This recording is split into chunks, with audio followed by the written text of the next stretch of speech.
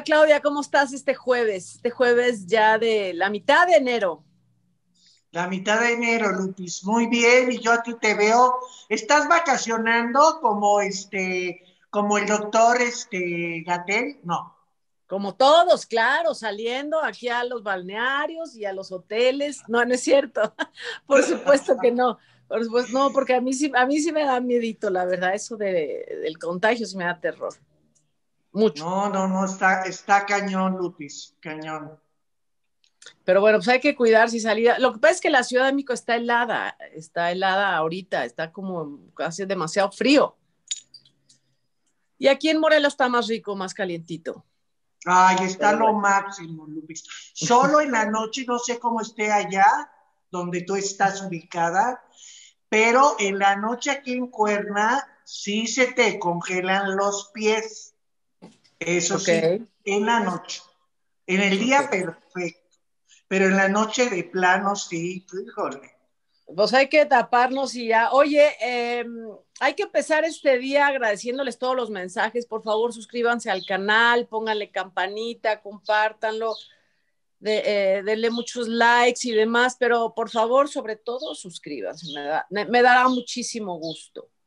Oye, fíjate que nos escribieron, Claudia, porque habría que aclararles, para decirnos que la entrevista de en la entrevista Dalila nunca había dicho que su embarazo era de 15 meses. Nosotros no dijimos eso. Dijimos que el Twitter que había puesto el programa hoy, quien haya puesto ese tweet, puso que Dalila Polanco tenía 15 meses de embarazo, pero nunca dijimos que Dalila. No. Y claro que reconocemos que la entrevista fue de Jordi Rosado y que tiene millones de visitas. ¿Está bien? Sí, oye, y, lo que dices, Lupis, para que lo tengan claro, si analizan lo que comentamos al calce de, esto de los 15 meses de gestación, eh, dijimos que el que lo había escrito o era un hombre o no era, era un hombre y no había sido papá, porque a una mujer no se le va a ir un embarazo de 15 meses. de, 15 meses no, porque creo que no nos saldría, la verdad, no, no lo haríamos jamás de ninguna manera. Oye, y nos escribió Carolina Iglesias para recomendarnos una película que se llama The Perfect, The Perfect Host, el, el inquilino perfecto el, el, huésped perfecto, que es de suspenso, no es nueva, pero que está en Netflix, pero que es muy buena. Así que esa la veremos. Suena interesante, esa suena interesante.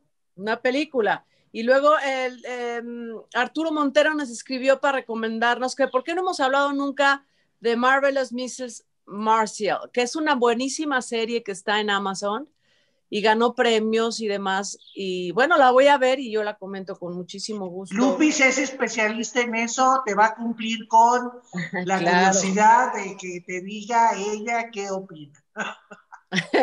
Oye, y ayer en la noche les juro que sí vi una serie que se llama The Night Stalker, que es un asesino, que es el, es el asesino de la noche, el asesino nocturno. Es un documental que está en Netflix. Te va a gustar, Claudia, te va a gustar impresionante. ¿eh? Mira, ahora que deje de ver, bueno, voy a ver la telenovela obviamente de Carmen Armendáriz, ¿no? Pero es que de veras me ha tenido muy mortificada la telenovela de Imperio de, de Mentiras, que ya estoy hasta encabronada con la producción y nos mandamos ahí mensajitos porque no me están cumpliendo lo que yo quiero. Y yo soy de las que me agarro de algo y no lo suelto. Y si agarré esta telenovela todos estos meses, yo quiero que me cumplan, cabrón, que cuelguen de los huevos Eugenio. Y lo van a colgar. Yo creo que sí te van a hacer caso. Va a ser una escena más impresionante que aquella de Ángel Inés ¿Te acuerdas cuando estaba Sendel en la cárcel? Que fue, qué escena tan desagradable. esa, esa se merece, fíjate. esa. Bueno, pues esperemos a ver en qué acaba. Ya voy a estar pendiente a ver si te hacen caso. Sería verdaderamente un parteaguas. no, más les vale, porque he estado mes tras mes, tras mes, tras mes ahí. Y mira, Victoria ya le está reventando los huevitos a Eugenio, eso sí, porque está sensacional la Victoria ahorita, cacle, cacle, diciéndole todo. Y, abriéndose completamente a, lo espeluznante que es Eugenio, que es una porquería. Ella también, pero le está ganando y entonces le está reventando los huevos Victoria a Eugenio. Y entonces ya es como un adelantito, un adelantito, caray. Pues la yo la voy a ver, voy a poner mucha atención, eh, sobre todo en tus recomendaciones, Clau, me parecen muy acertadas. Oye, y entonces estuve en la presentación virtual vía Zoom de la nueva telenovela de Carmen Armendaris que empieza el lunes. ¿Te acuerdas de mí? Que es con Fátima Molina, está eh, Gabriel Soto. Gabriel Soto. Guillermo García Cantú, eh, Juan Carlos Barreto, Marisol del Olmo, tiene un elencazo, está Rebeca Jones. Pasó un trailer como de unos 15 minutos, muy, la verdad creo que hay un buen planteamiento de historia, está muy entretenida. Éramos varios periodistas eh, en, esta reunión de Zoom viendo el trailer y después haciéndoles preguntas a los, los actores ah, que estaban. Los actores que estaban eran Fátima Molina, Gabriel Soto, Marisol del Olmo y Juan Carlos Barreto, y por supuesto en medio Carmen Armendaris, hablándonos de su novela. Y, esta, y se ve bastante buena, yo la voy a seguir puntualmente. Es una, fíjate, es una pareja que se conocen, ella es pintora, él es un hombre de negocios, se conocen casualmente, se enamoran brutalmente, pero el destino los tiene que separar y luego se reencuentran unos años después. Y, no, creo que tiene que ver con el papá, esta mujercita, con el papá y el hijo, algo así. Es que, eso, lo vas a ir descubriendo durante la trama y, te va, y les va a gustar, de verdad que les va a gustar. Ah, ok, vale. Les va a gustar. Hay que la, vamos a comentar en Twitter. Eh, perdón, pero la jauría se acaba de levantar. Oyen a todos los perros ladrando, pero bueno. Este, yo creo que vieron pasar a zorro. Pues, para que se calmen, Vieron pasar un zorro o algo, porque bueno. Ok, pues esa fue la presentación de Carmen, de la novela de Carmen, que les digo que a mí me late muchísimo y la vamos a ver, por supuesto que la vamos a ver. Oye, y entrando en materia, resulta que va a haber, ah, pues mañana es el Día del Compositor, por cierto, tú tenías un esposo compositor. Sí, este, claro, Francisco Curiel. Tu esposo, claro. Autor de Bolero, de la canción de Carlos Cuevas y de varias más. y siempre, y siempre lo recordamos, no nada más este día el día del compositor. Claro, por supuesto. Papá de tus tres hijos y demás. Pues bueno, mañana es el día del. Eso se lo creyó. Ahórcate con tu propia lengua, Claudia, ni hablar, ni hablar. Ya, de aquí, esa es la nota. Oye, la nota. y entonces resulta que mañana es Día del Compositor, mañana viernes 15 de enero es Día del Compositor y va a haber un homenaje para Armando Manzanero. Eh, eh, Alex Intec puso una lista de muchos famosos que van a estar eh, en un live en la página de, mira, es SACM-oficial en los canales de YouTube y de Facebook de la, de la Sociedad de Autores y Compositores de México. Es gratis, pueden entrar gratis y es un homenaje a Armando Manzanero. Y van a estar Alex Inte, Carlos Rivera, Manuel Alejandro, La Forcade, Moenia, em, déjame ver, Pérez Botija, Alexander Hacha, Mario Don. Pérez Botija, no manches, en serio. Bueno, va a haber muchísimos, va a haber muchísimos en este homenaje que se hace a través del canal oficial de la Sociedad de Autores y Compositores de México. Em, y yo creo que vale la pena seguirlo. Es el día de mañana a las 4 de la tarde empieza el vivo. Y ya después se quedará y lo podrán visitar. Pero si lo quieren ver en vivo es a las 4 de la tarde en SACM-oficial de la Sociedad de Autores y Compositores. Pasen lista, yo creo que va a estar muy interesante. Imagínate, imagínate con lo que acaba de pasar con Manzanero, por supuesto, Lupis. Pues ahí está, ahí estaremos este, viéndolo. Y a propósito de música, ¿qué le pasó a Dona Paola? Ay, que le, oye, qué poca madre, ya, ya no se puede, ya no se respeta nada.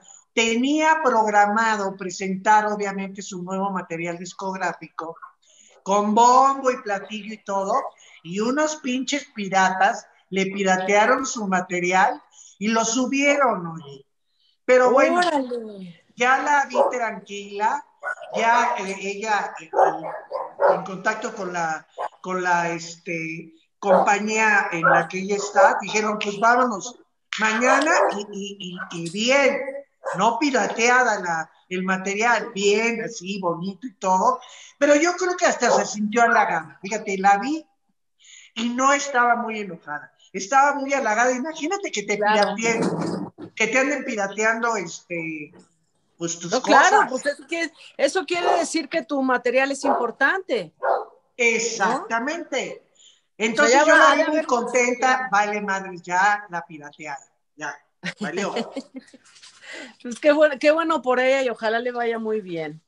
Y ojalá le vaya muy bien. Oye, y entre otras, a propósito de música, resulta que algunos como, ya ves que esto de la pandemia ha detenido conciertos, presentaciones, y, por, y no, no solo es el artista el que no gana, no solo, no solo es el que canta, son todos sus músicos alrededor, todo, todo su equipo completo, los que arman, sus ingenieros de sonido, todos los instrumentos, dejan de ganar dinero.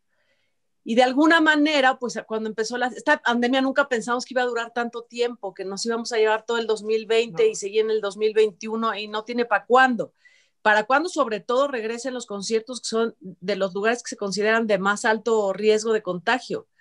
Si ves, yo he visto como tablas donde dicen, bueno, pues a tal, a tal lugar sí y así va creciendo y, el, y los conciertos son los lugares donde menos recomendable sería ir ahorita, pero entonces algunos famosos pues necesitan ayudar a sus músicos, necesitan apoyarlos de alguna manera y van a hacer conciertos para beneficio de sus músicos, a lo cual yo creo que sería interesante pues que el público asistiera grupos como Pandora o Carlos Rivera, Camila, Sin Bandera, Matiz, van a dar apoyo a, sus propios músicos y está bien. Yo creo que todos los gremios necesitan de alguna manera apoyar. Es lo que claman, por ejemplo, ahorita los restauranteros. No solamente es, dice, dice nuestro presidente, siempre tan atinado, dice, bueno, es que los empresarios de los restaurantes son ricos y los ambulantes tienen que salir adelante, pero es que en los, en los restaurantes puestos y establecidos trabajan meseros, garroteros, ballet parking, trabajan los que lavan vajillas, los que arreglan baños, por supuesto que no todos son millonarios y todos necesitan trabajo. Y hay que y hay que apoyar, no solo es industria, pues todas. Y la música no se va a quedar atrás. Y a mí me parece muy bien, Lupis, porque yo te voy a decir, muchos cantantes, aunque sí, obviamente, este, pues viven de, de sus, este, conciertos y todo, pero quiera que no, tienen sus reservitas. Claro. ¿No?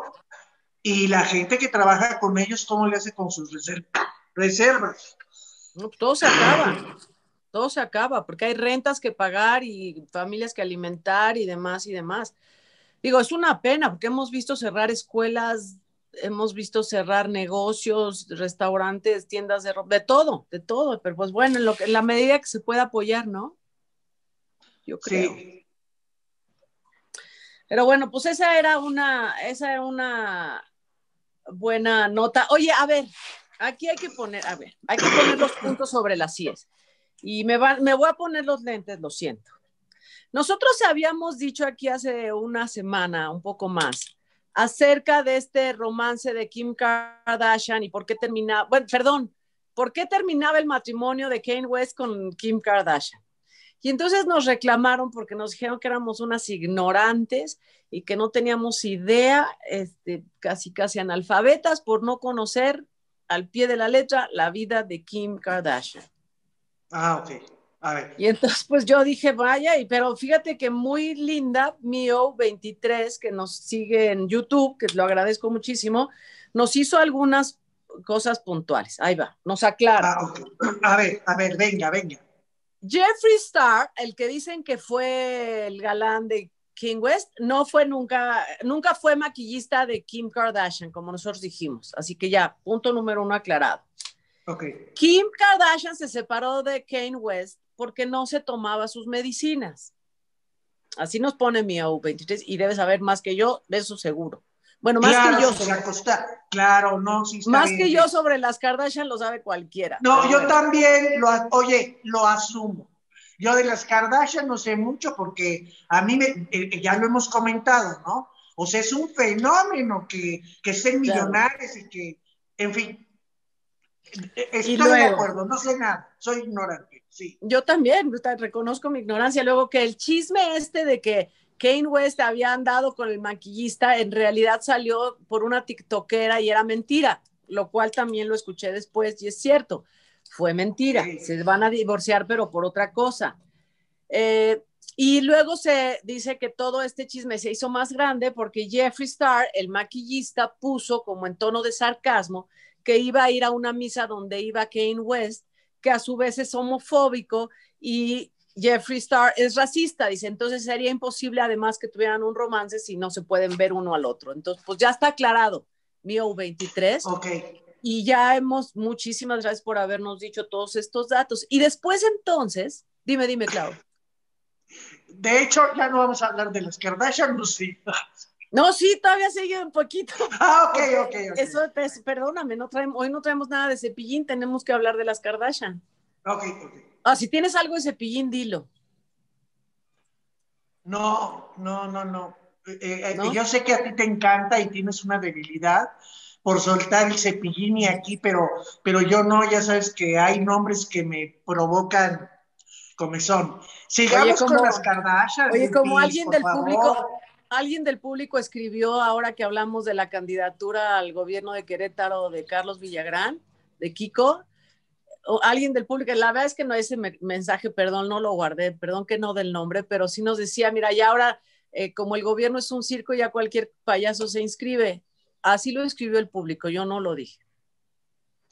Pues hemos, oye Lupis, y vamos a seguir contando payasos inscribiéndose como diputados y como el, qué cosa. Oye, están desatados los del medio artístico. Es que yo creo que era, por ejemplo, la Serrano, que yo te voy a decir algo, ¿eh? La Serrano cuando estaba en el Senado, la Serrano se acostaba con un presidente, Lupis. Algo de política sabía. Y algo, oye, y algo cabrón y profundo de, política, ¿no? Y se peleaba con algunos y se armaba todo el... Pero ahorita agarras y dices, no mames, y ahora va este, y ahora este. Bueno, ¿cuántos quieres que te... Gabriela Goldsmith, y que mm, dicen que va como, este...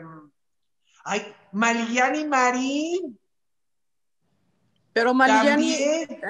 sí, por una delegación para. Ella va representando a la mujer y a las familias. Algo así. Bueno, pero a lo mejor va como en plan de obra social así, ¿no? Como. No sé, no, no, lo, no lo había leído, la verdad. Y luego Alfredo Adami, que ya ves que está. Ah, sí, sí, su partido.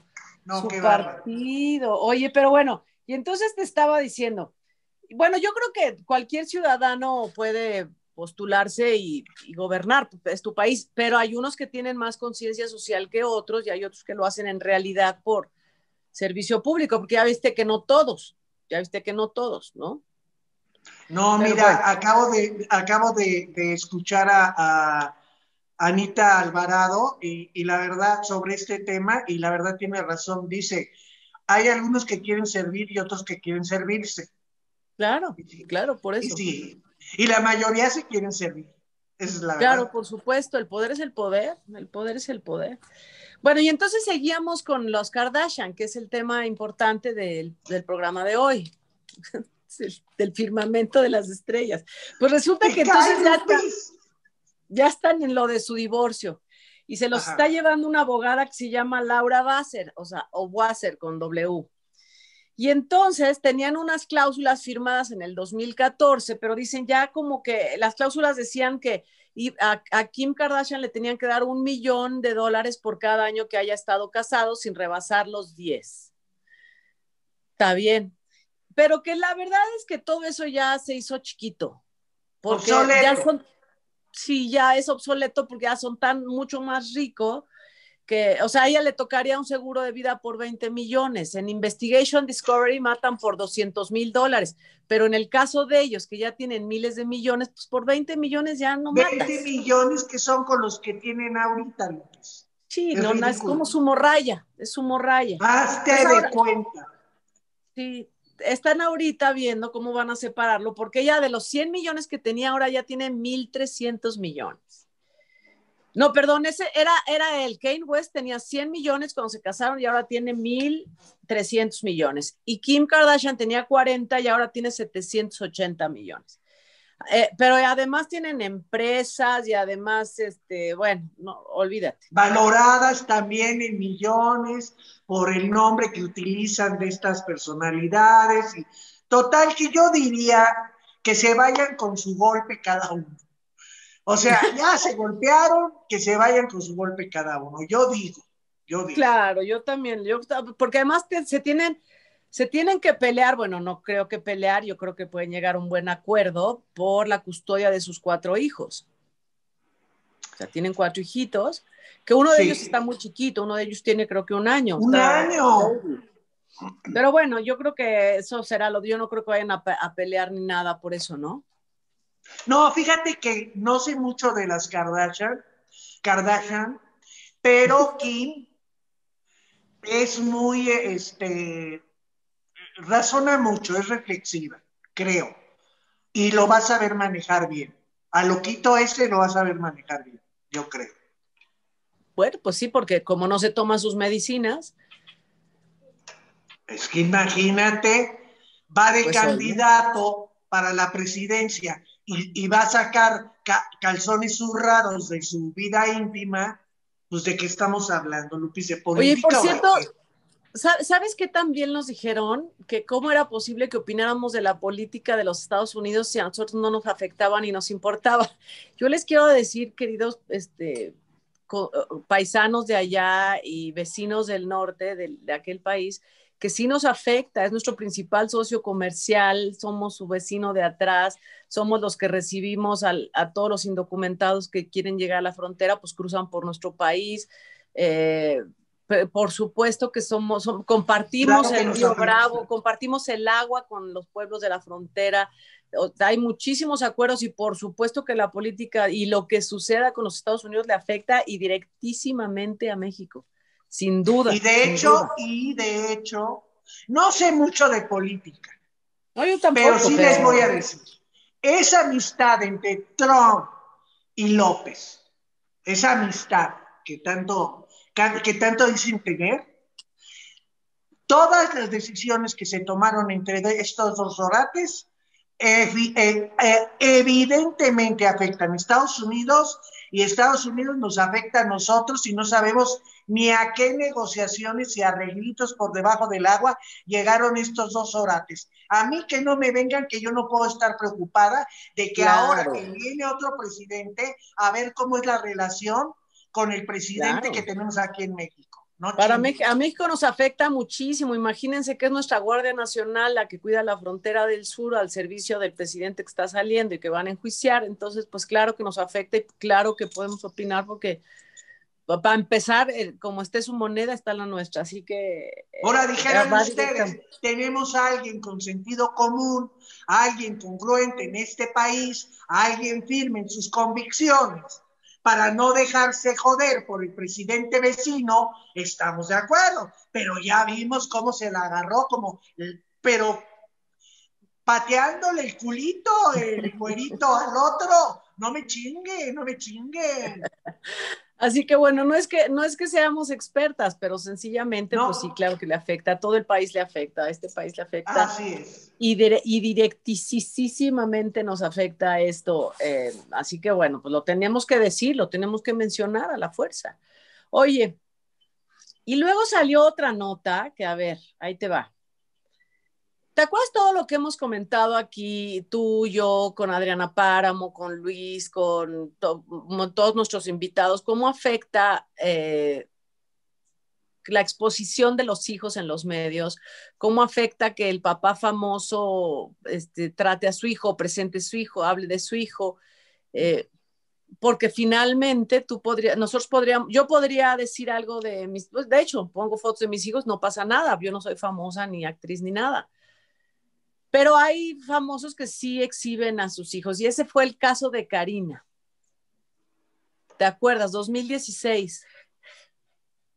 Sí, este, fíjate que yo cuando vi a Karina abrirse, sí entendí que era su desesperación, porque siendo una figura pública, Lupis, inmediatamente, ya sabes cómo empiezan algunos medios y todo ese rollo, creo que se quiso adelantar a, a lo que venía, pero sin ponerse a pensar si realmente estaba bien o mal hacerlo.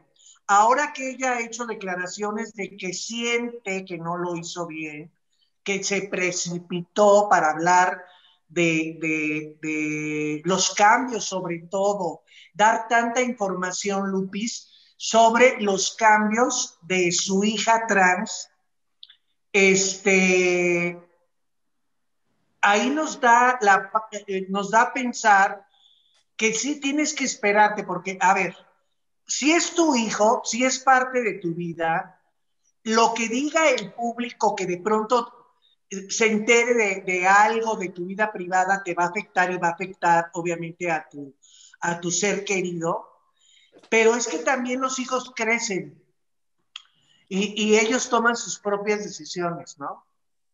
Claro.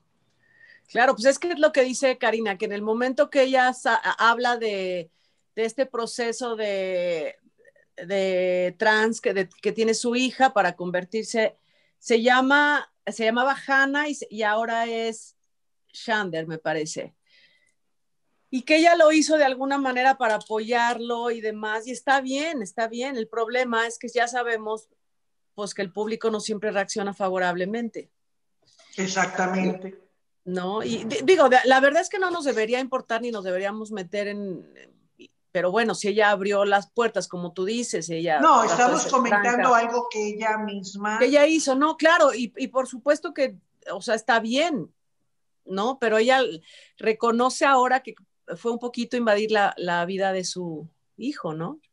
No, que de hecho el hijo, que ya tiene 15 años y que está en la edad más difícil, yo creo, Oye, en una edad normal, sin, tener que estar en ese, en ese conflicto de trans y, este, estos tipos de, este, elecciones, que están en la edad más difícil de la vida, Lupis, de veras.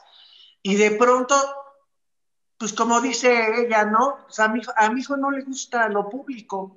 No, pues el problema es que ya lo público ya voló más que públicamente, ¿no? es, que ese es el problema, o sea, no le gusta lo público, pero tú ya lo exhibiste. Y bueno, pero lo estamos comentando porque ella lo comentó en una entrevista, ella asume los errores y si lo estamos comentando es porque hay muchas personas que pueden estar en el mismo, personas conocidas, Lupis, estoy hablando, porque tú no te sientes vulnerado si no eres conocido y un personaje público donde estás constantemente observado de cada una de las cosas que pasan en tu intimidad, ¿no? Claro. Los demás. Claro, claro, ahora, ahora también ella dice que de alguna manera lo hizo público para apoyar a otros papás, a otros chavos en esta circunstancia, o mujeres, hombres, lo que sea, eh, en esta circunstancia para que puedan abrir y sea más abierto. Y yo creo que está bien, esa parte que ella dice está bien. El problema es que pues puso en el ojo público a un hijo que no quería estar en el ojo público. Exacto. Pero bueno, por lo menos se dio cuenta del error y eso está, eso es muy valioso. Creo que ella, como muchos artistas que no están viviendo esa misma situación, apoyan determinadas causas, apoyan determinadas este, temas en ese sentido y no necesariamente los están viviendo, no necesariamente, ¿no? Entonces todo esto vino de yo sí siento que Karina dijo, es como cuando se quieren burlar de ti, tú siempre, al menos es lo mío, ¿no? Yo me río primero, cabrones, antes de que se rían de mí. Yo creo que Karina quiso decir, yo soy la primera, me pertenece al final de cuentas esta situación y antes que alguien lo maneje de tal o cual manera, pues lo voy a decir yo, creo. Claro, ahora, a ver, ha habido casos como el de Cher con Chastity, su hijo que es Chas, hoy, que no tuvo que hacer un comunicado, sencillamente se presentó con Cha, su hijo, y ya, ¿no? Y finalmente es Cher, que es una eh, mujer espectacular. O sea, no había que hacer tanto llamado. lo mismo tiene Angelina Jolie, su hija Shiva, desde muy chica se ha vestido y ha asumido una personalidad y ha sido totalmente respetada. Yo creo que si las cosas... No, de hecho, Lupis, no sé si viste la última fotografía de, la, de, esta niña, porque no, o, sea, no está definido nada. No, porque es muy Vestida con su chorcito, súper femenina. Fíjate, es que eso está bien, porque a ver, yo creo que eso es súper acertado de parte de Angelina Jolie, que respetes a tu hijo, a ver, o tu hija, o, quien sea, que se vista como se le dé la gana. Si ella de chiquita le gustaba vestirse como niñito, está bien, pues a ella le gusta y estaba cómodo, cómoda y está padre. Y si de gran se quiere vestir con minifaldas y shortitos, está también bien. Yo creo que lo importante es hacerlo de la manera más natural y respetuosa, sobre todo para tus hijos. Claro, y yo creo que Angelina Jolie sí lo hizo con Brad Pitt. Esas, eh, yo creo que de las pocas cositas que supieron manejar en pareja, esa fue una. Sí, yo creo que fue muy inteligente de parte de los dos. Mucho, muy inteligente de parte de los dos. Oye, antes de que vayamos a, la nota, a, la última nota de este programa, porque nos vamos a extender un poquito a lo mejor, no sé. Hay que comentar la, la portada. Viste que ahora la nueva vicepresidenta elegida la vicepresidenta de Joe Biden se llama Kamala Harris y salió en la portada de la revista Vogue. Pero dos cosas le criticaron, a ver, una que saliera porque traía un traje como sastre, pero además tenis Converse, muy fachosona. Y por otro lado, a la hora que le que nos pasa mucho a todos a la hora de la foto, pues le aclararon la piel, que eso es una discusión enorme porque es como eh, no aceptar el color de la piel de la persona que estás retratando, que se lo hicieron, ¿te acuerdas? En alguna, en alguna publicación a Yalitza misma, que, ¿para qué me llamas a una portada si me vas a cambiar el color? Claro. Y eso hicieron con Kamala Harris, entonces fue como una gran discusión y, pues, le dijeron a la directora de Vogue, a ver, este, ella explicó por qué la vestimenta y estaba bien, yo lo, me pareció justificable, pero el, cambio de color de piel me parece, entiendo que a veces cuando te toman una foto o algo, el flash, pues claro que te cambia el tono de la piel. Pero me parece, sobre todo siendo una vicepresidenta en la circunstancia y demás, cambiarle tanto la, la personalidad con luz, yo creo que no apoya, no, no aporta mucho. No, no abona nada, Lupis, porque es lo, que decías de Yalitza, es exactamente, si, si ese es el encanto de esta mujer, entonces ya que ya le quieres cambiar, o sea, ¿qué, qué estás haciendo? ¿Qué te pasa por la cabeza? Te estoy hablando de la gente que está abocada a este tipo de trabajos, como para que en el camino algo, algo te está molestando, fíjate qué cabrón, algo te está molestando para que modifiques algo tan importante como la cara. la raza.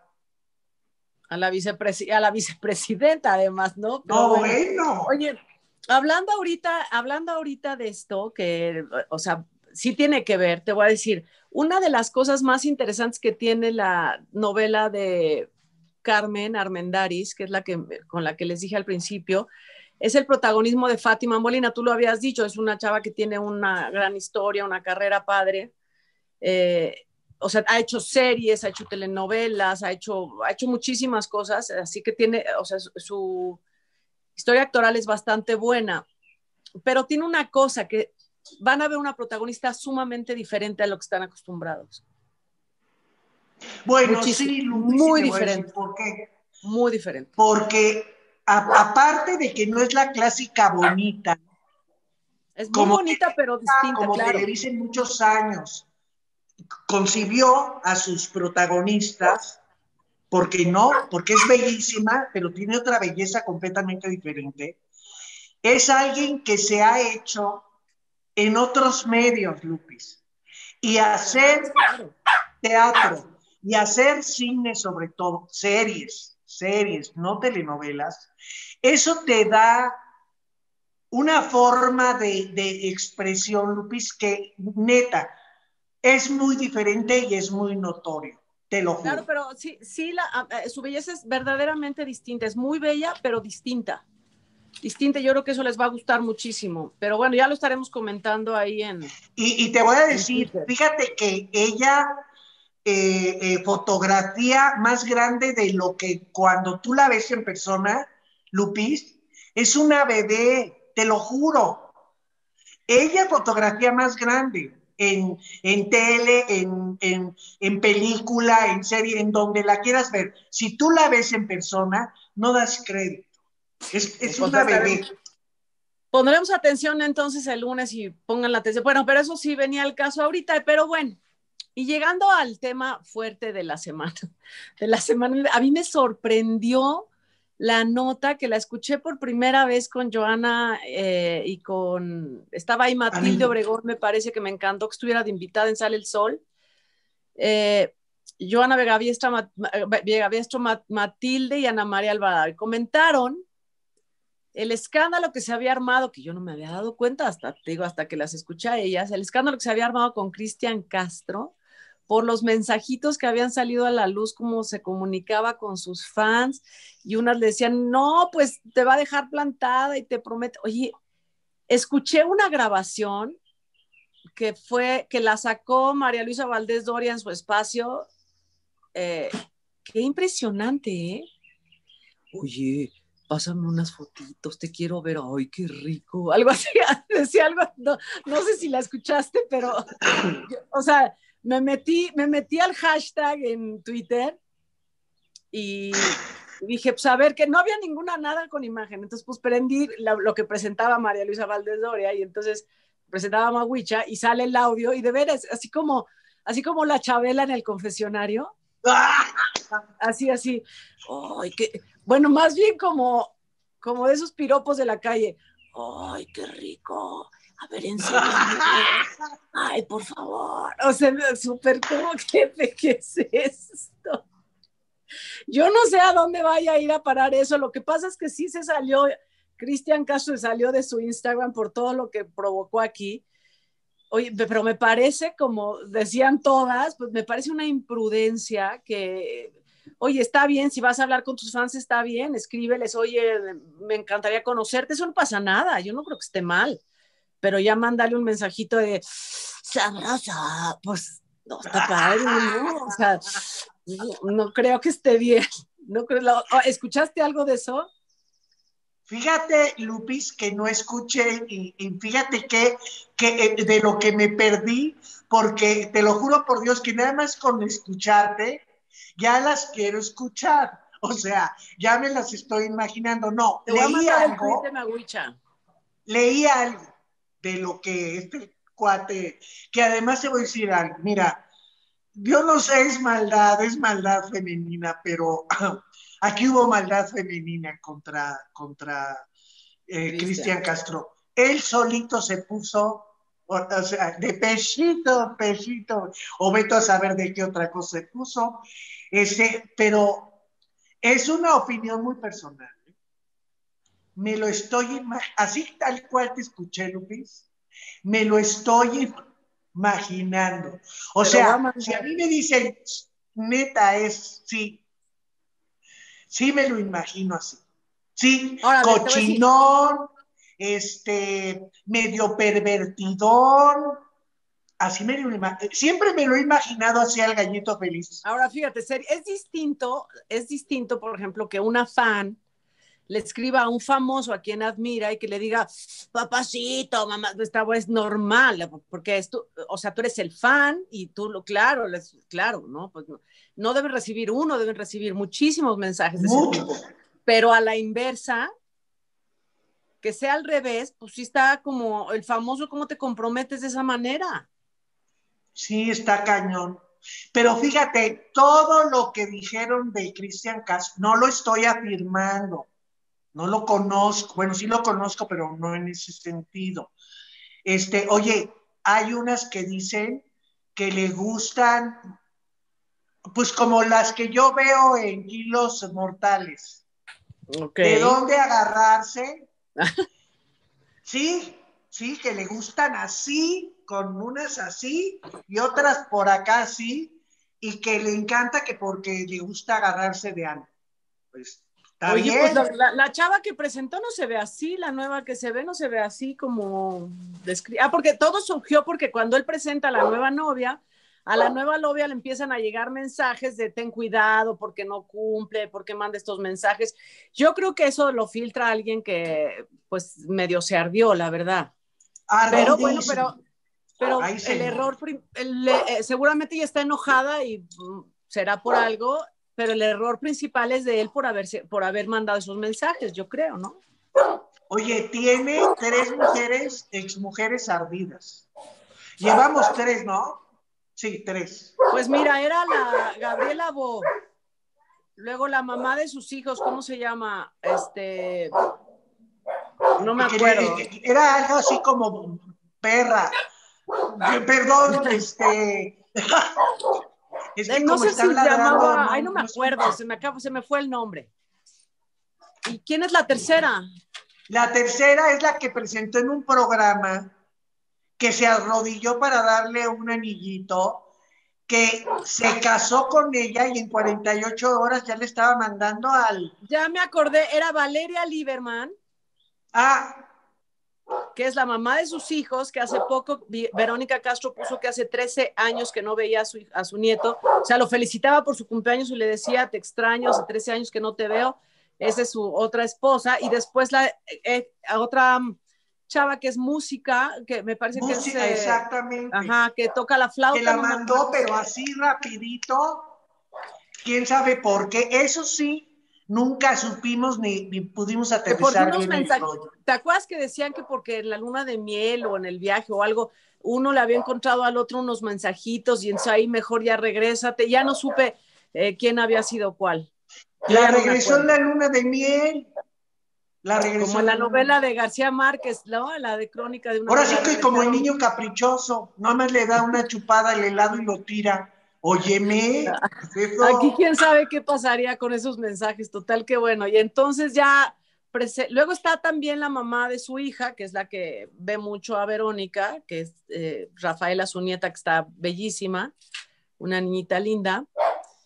Y bueno, no sé si esa no fue nunca mujer y con esa siempre ha mantenido una relación muy cordial. ¿Qué cosas? Qué bueno. Pues está bien, qué bueno. Es que así debería ser por el bien de los hijos. Pues imagínate si no ibas a eh, vivir la vida peleando y los pobres hijos en medio. Eso no debería ser nunca, nunca, no debía considerarse. Sí, pero yo creo que la inteligencia viene de ella, de la mamá de la niñita, de la última hijita de, de, Cristian. Que ya no tenga bebés, Cristian, ya no, ya no, no es lo correcto.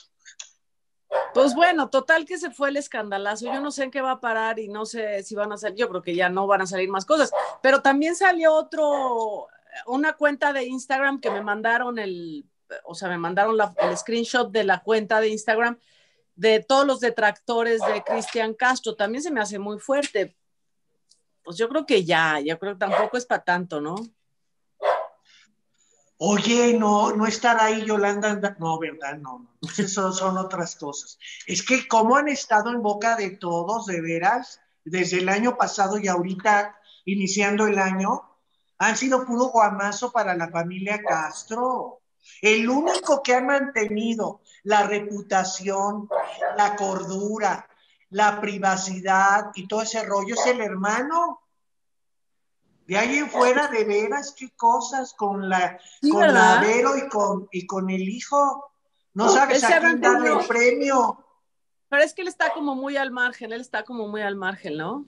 Siempre, Oye, ¿sabes qué no comentamos, Claudia, antes de que termine el programa? No comentamos la felicidad, lo cual a mí me hace muy feliz. Pero eh, Lucía Méndez fue abuela. Ah, ya, de una niña además. La vi, qué cosa más linda está la bebé. Bueno, te voy a decir algo.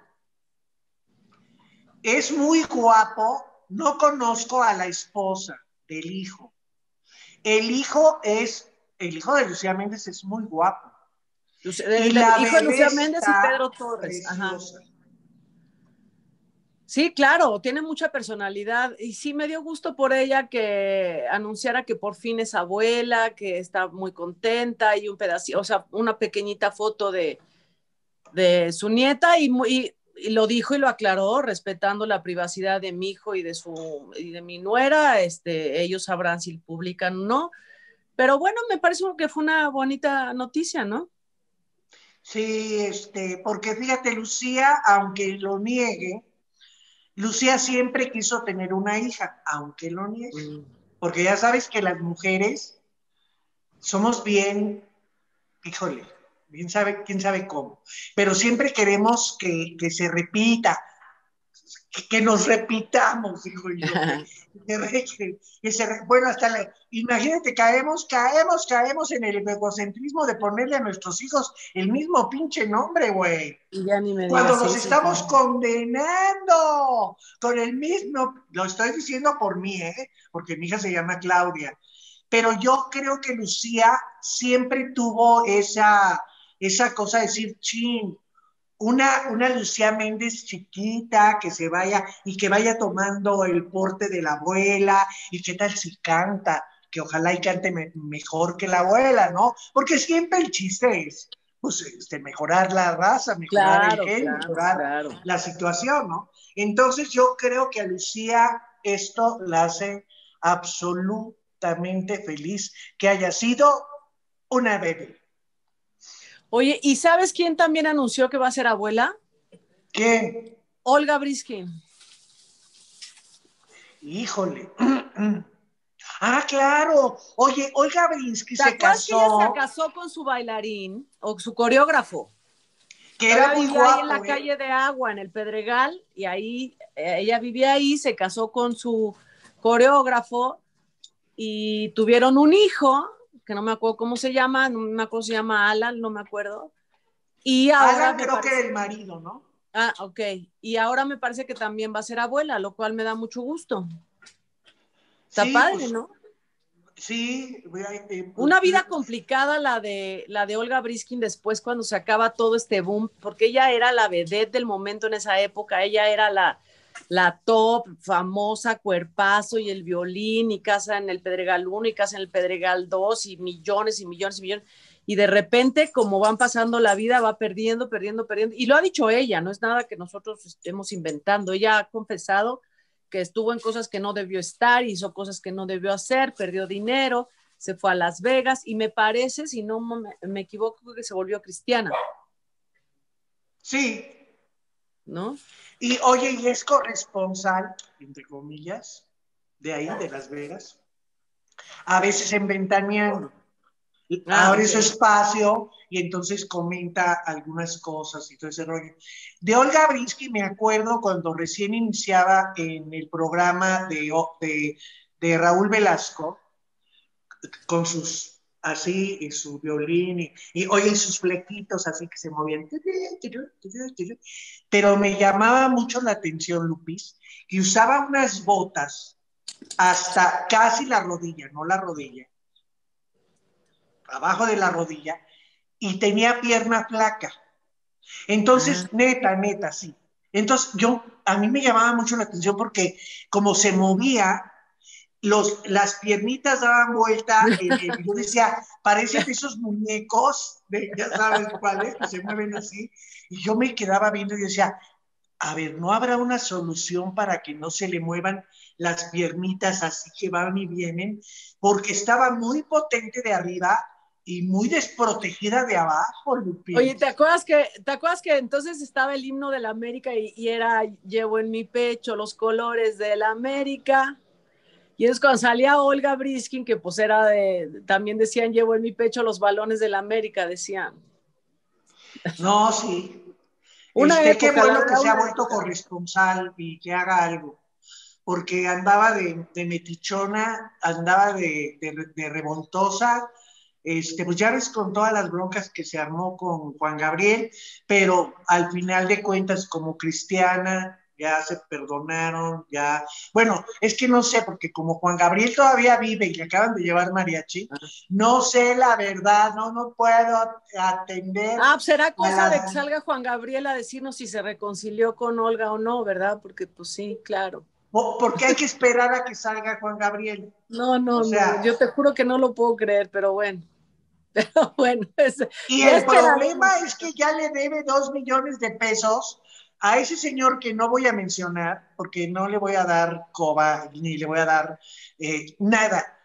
A ese señor que dice que ya le debe dos millones de pesos y que ha sido el único que ha estado cerca de, de Juanga, que Juanga vive, que le llevó mariachi, que, le, que ya le debe dos millones, pero que no importa que, él abona lo que sea para que, cuando tenga para sus chopitas. Yo creo que a lo mejor lo están estafando, este, mejor debería hacerle un ADN al que se hace pasar por Juan Gabriel y le ha sacado dos, millones de pesos. A lo mejor Juan Gabriel no ha aparecido porque no, todavía no deciden quién va a ser el telonero, si él o Elvis Presley. Ándale, sí, yo creo que va por ahí. Entonces, cuando se defina quién va a abrir el concierto, pues ya saldrán los dos. Sí.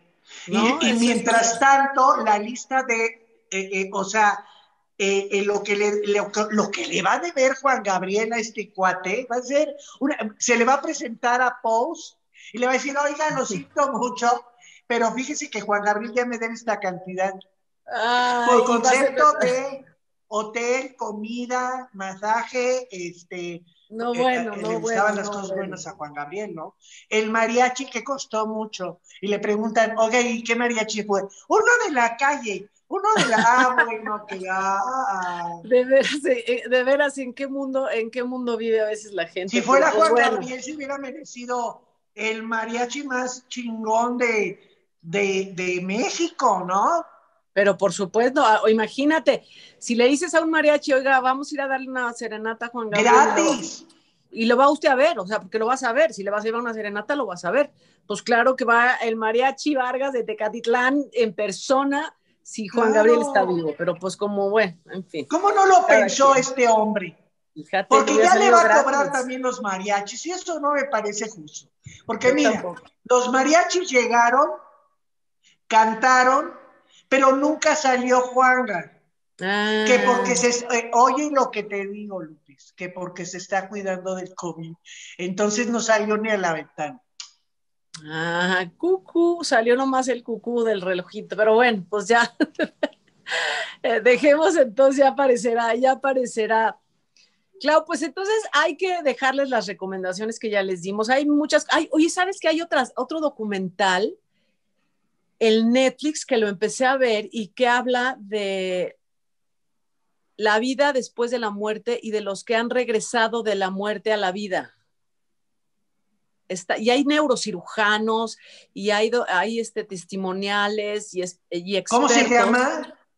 Se llama, no me acuerdo si es Life After Death o algo así, pero algo que tiene que ver con la muerte. Se los voy a buscar y se los, se los digo, pero se me acaba de olvidar, pero tiene algo que ver con muerte. Y pero tiene que ver con esto de la gente que ha logrado regresar después de haber estado muerto y lo que ha visto y cómo ha sido el proceso. Y está muy interesante porque tiene testimonios médicos y testimonios de gente que lo ha, que lo ha pasado. Pues mira, Lupis, algo debe de pasar, algo, o sea, no te apagas como foquito, porque todos los que han estado, por ejemplo, mi abuela, en su momento ya era grande, eh, pero ya murió más grande, a los ochenta y tantos años, pues se apagó, aparentemente, y, y ya se supone que se había apagado. Y de pronto mi abuela regresa, y ¿sabes con qué idea, con qué regresó? Te lo juro Dice que estaba padrísimo y que por qué la habían regresado si ella iba en un camino de luz viendo a su hermano y a su esposo y a toda la gente que se había muerto anteriormente, ¿no? Entonces sí te queda esa idea de decir, algo pasa, algo, ¿qué es? No sé.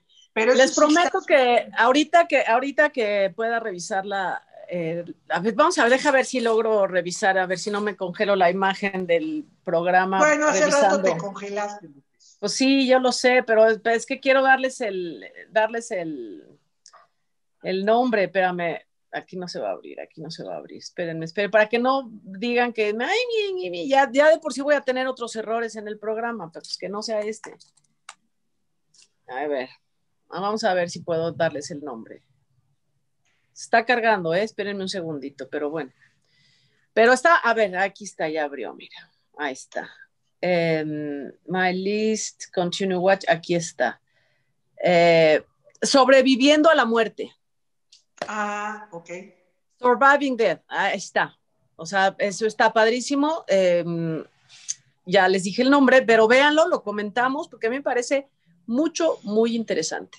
Yo me comprometo, Lupis, a verlo y a comentarlo el lunes o el día que se pueda, porque a mí, eh, bueno, no es porque estemos este, viviendo tanta desgracia ahorita de muerte y de todo ese rollo, a mí en especial ese tema sí me llama mucho la atención.